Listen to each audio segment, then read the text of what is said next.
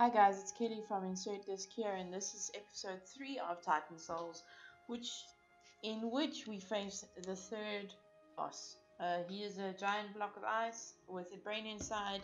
He slides around, he charges you, and he also has a jump attack, which only really comes out when you stay alive for long enough, which I found to be quite a challenge. So I've shown you, um, I wanted to show you me playing everything, but as you can see, uh, two minutes in you get your first death and so I just showed you how often I died. And I only showed you about four of my deaths. Because I'm sure you wouldn't want to watch the same thing over and over again with me rolling around failing to get the idea of what to do and getting smushed by a giant brain.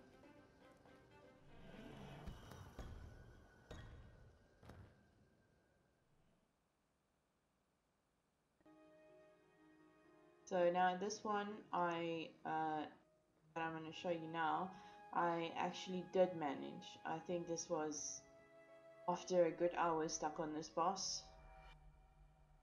I think I do die once or twice before I get it right. But what I did figure out is that your arrow needs to be shot strategically and I've said this before but of course I don't get my own advice. However, this boss blocks it. So if you shoot your arrow and he gets in the way, it blocks it, which leads to getting swished, like that. So trying to light the arrow on the flame and get it back to you and into him before it goes out without getting squished was quite a challenge. Now, I figured out that you need to lure him onto one of the fire pads which are located in, in, this, in the cross and then just about timing and positioning.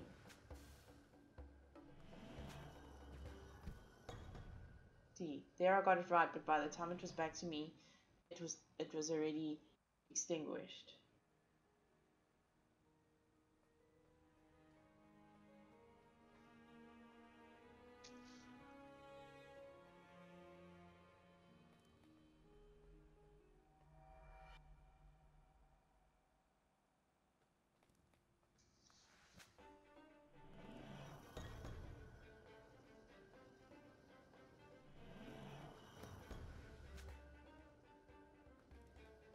See, I was trying to lure him.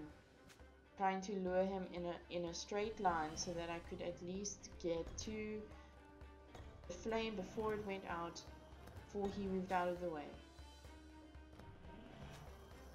See, I was close to the flame there. That was good. That was what I wanted.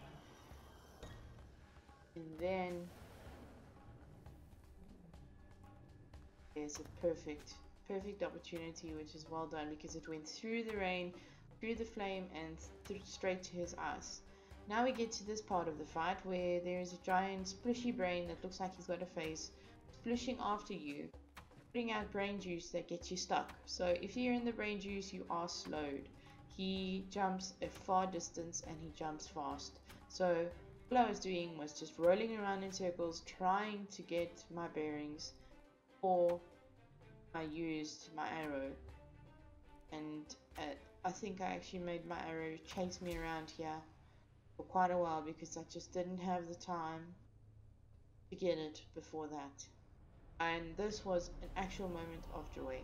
It was relief. And I'm pretty proud of myself for doing that.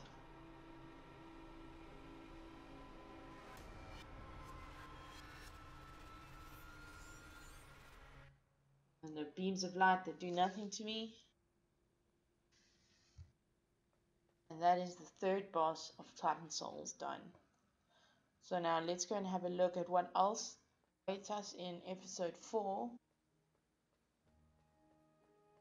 At least I didn't try to road up the steps that time.